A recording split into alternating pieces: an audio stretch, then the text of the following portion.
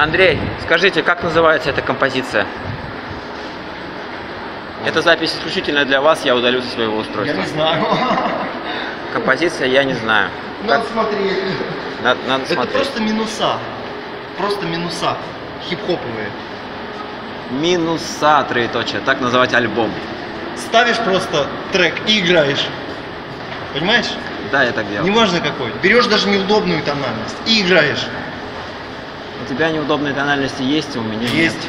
Да. Я, кстати, научился играть неудобные тональности. Это, Но это же интересней. ну как сказать, интересно. Это просто признак того, что я научился. Учился, учился и научился. Вот ты знаешь, какая самая гитарная тональность? Это я как гитарист тебя спрашиваю. Ми. При текущем строе, когда ля 440 Гц, до диез. Вот. Слушай, слушай, если ты... Слушай, а можно я тебя попрошу снять?